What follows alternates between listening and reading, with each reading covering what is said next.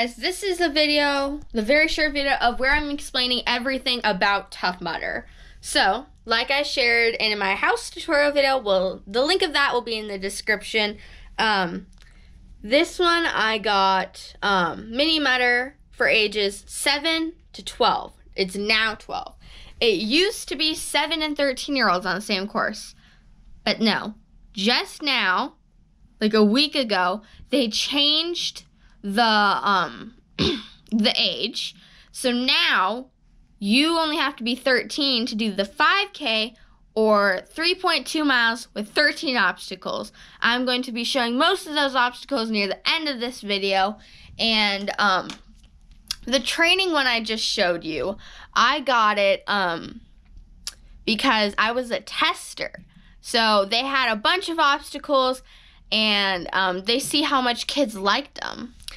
And then this one I got when you were actually allowed to do it. And then um, in April, I'm going to be getting a Tough Mudder shirt, the 5K shirt, and I'll show you my dad's um, collection. My dad's beautiful collection.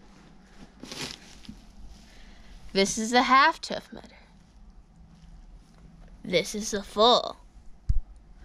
And this is the 5K Tough Mudder headband that I.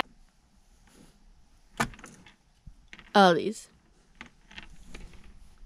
Full. Full. 5K. And this year they're supposed to be black because my dad's an ambassador, so he gets like the inside scoop of Tough Mudder. There are multiple obstacles um, like the ones I'm about to show you, and um, link in the description for the website for the Tough Mudder. So maybe you can come and join me if you're 13 and older. And if you're younger than that, then you can do the one mile, which is also fun for kids. And um, I would recommend doing Tough Mudder. It is very fun.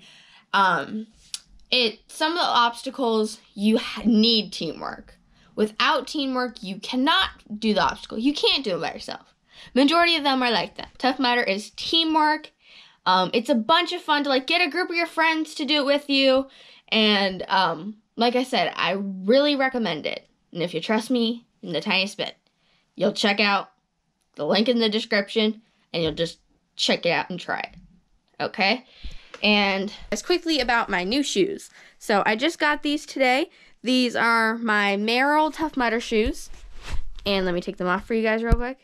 Um, so these are my Merrell Tough Mudder shoes. So if you guys don't know what Tough Mudder is, my next video I'll be explaining everything about it. And um, so I'm going to be doing one on April 6th. I'm going to be doing the 5K, which is 3.2 miles. And um, so these are my second pair of Merrell shoes. My first ones, I've had these for about eight months now. And this is what the bottom looks like. And these are the brand new ones, what the bottom looks like. So, um, you can see how much I wear it down from this to this, especially if you look at it from the side. And um, so I'm going to be telling you guys something real quick um, about these shoes. So because these shoes are in sections, um, I can tell you guys if this is a sprinter shoe or a distance shoe. So this are this is one section and this is another one. So if you're a sprinter, you'll mainly use the second and third row. But if you're more of a distance person like my dad, then you'll have the third and fourth row.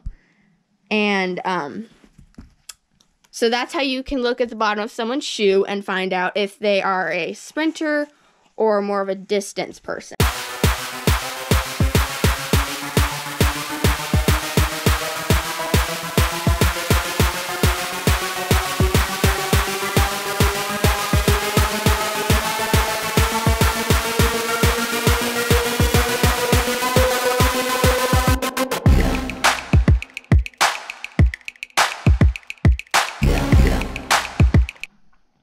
So the videos that will be coming up also um, is there's going to be a video about um, what I did in um, Wisconsin, all the Wisconsin videos and like Hawaii videos.